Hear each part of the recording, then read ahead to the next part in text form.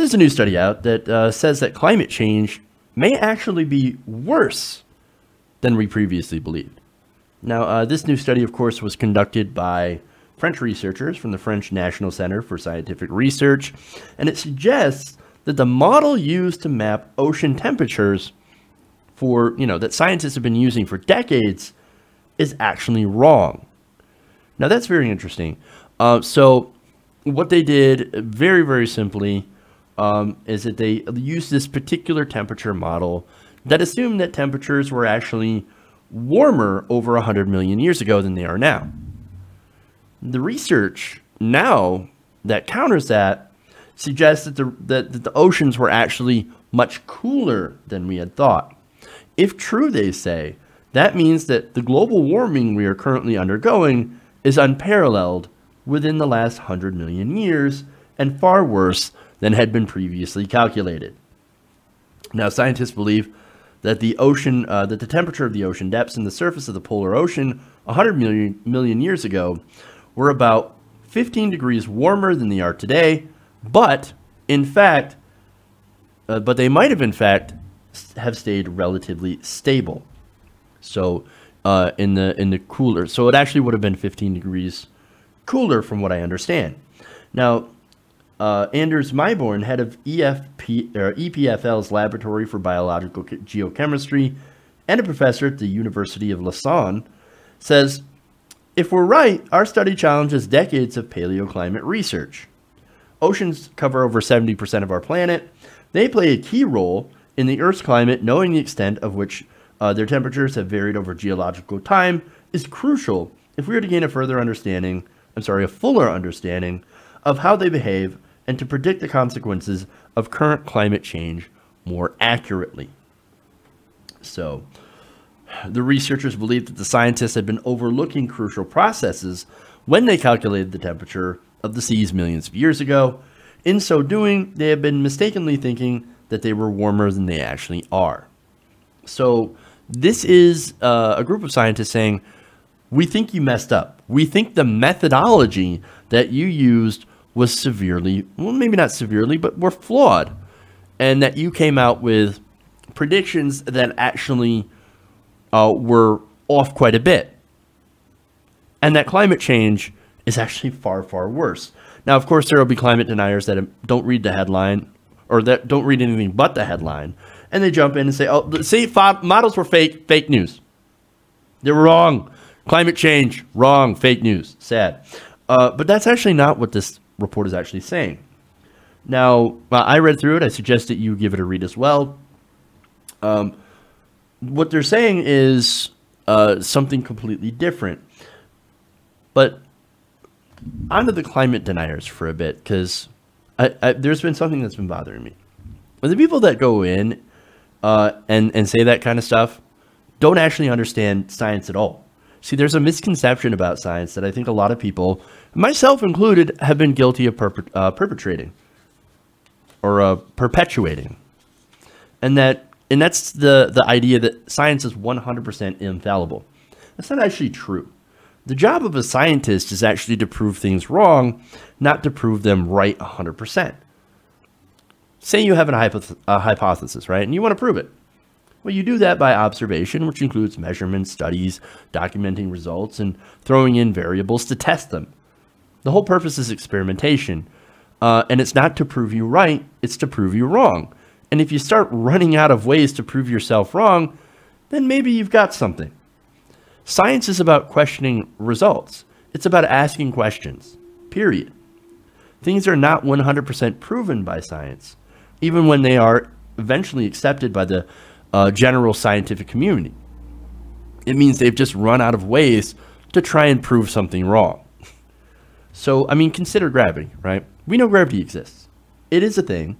And at this point, there's, there's, there's no question in the fact that it does exist, right?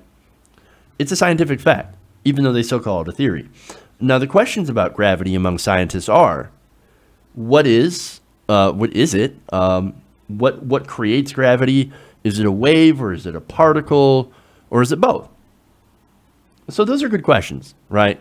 So it where does it come from? How does it actually like work? Okay?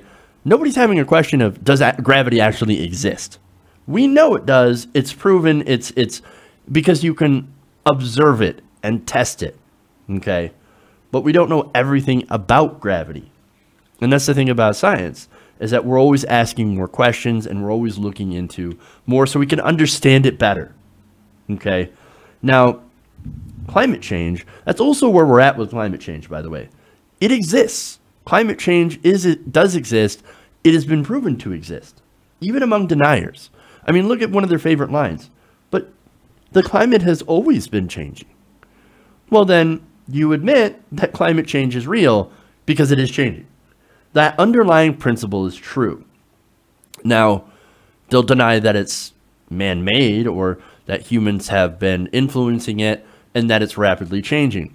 Now, one of the debates is how rapidly it's changing. Now, a lot of scientists on this front, uh, on the rate, have actually had uh, been very conservative. Not in the political sense, by the way, but in, of course, uh, basically they're being careful, they're being measured, and they're trying not to be too alarmist. Well, for me, red alert, okay? We've got a major, major problem. It is rapidly changing. I mean, climate, yes, has always changed, but again, it's been very rapidly changing since the industrial age. We have not seen this before. We've seen the climate get to a warmer point than where we're at. Sure, absolutely. But those kind of changes took millions of years, millions upon millions of years to happen. What we've done is that we've taken a relatively mild, stable climate and we've jacked up the heat in a very, very short amount of time. Now, that leads to very weird things happening that were traditionally more rare, did happen, yes, uh, but these events, superstorms and the like, they actually now happen uh, either more often uh, or and they're also stronger. Now, the other far more dangerous part about the rate of climate change is the impact on animal and plant life. Now, again, climate changes over long, long periods of time, right? And when it does that, and it has, then animals and plants are given a chance to be able to adjust, to be able to adapt over time. If you do it rapidly, and when you're talking about geologic terms, a couple of centuries is actually super, super fast. Not to us, um, but geologic time, it's a blink of the eye. 200 years. Uh, when you do that incredibly sudden, when you change that climate so fast and make it that much warmer, that causes major, major problems. When it comes to adapting plants and animals, they don't have time to adapt. If they don't have time to adapt, they die. If all the animals and plants die, then guess what? we die. You can't exactly eat money and drink oil. Just saying. It would cause massive die offs in our food supply. Our, our food chain would collapse it'd end up being like the Donner Party, even far, far worse. So, not good. Now, the people that deny this stuff, they don't understand how science works. They're dooming us all. That's a big, big problem. And unfortunately, a, a lot of those people end up getting paid by the fossil fuel uh, uh, industry. Those people who don't look at the long term and only look at, eh, hey, how much money am I making today? How many more millions of dollars can go in my bank account at the end of the week? Look, if the rate of warming is worse than originally predicted, and again, this is this is a theory. They're trying to figure out uh, why this is happening. Uh, if the rate of warming is worse than originally predicted, which again was already pretty bad to begin with, to be honest with you, then this study shows that we are in a world of trouble far, far sooner than we expected. Hey everybody, thanks for watching this video. If you want to see more like this, please hit the subscribe button below. And if you want to support truly independent progressive media, please consider becoming a patron at patreon.com slash TYTNation.